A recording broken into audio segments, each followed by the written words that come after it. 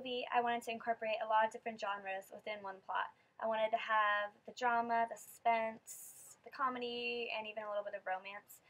Of course. Um, thinking of all the ideas that I can incorporate into one storyline, I really came across one that really stood out to me. It's everyone has that decision in life where they come across two pathways.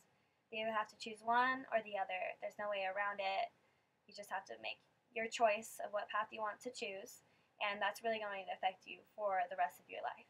So my the title of my movie is actually called The Choice, and it's about this young man in high school. He's a senior in high school. He's a star athlete, and he's receiving a whole bunch of scholarships to all the top schools for football.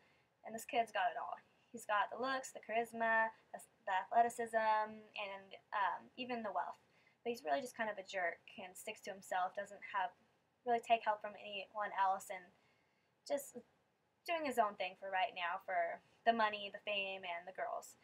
So he wakes up and realizes one day that this isn't the man that he wants to be. This isn't the life that he wants to have. This isn't the legacy that he wants to leave for his family and his friends. So the next day he enlists in the Navy. And having this attitude to start off with of this, I don't need anyone's help, like I can do everything on my own, I'm the star athlete, um, he ends up, you know, not making friends in the Navy and failing a, lot of the tests in the Navy.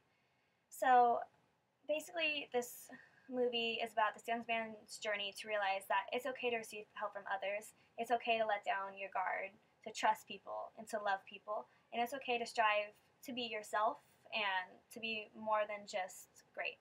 So, yeah, that's my movie. It's called The Choice.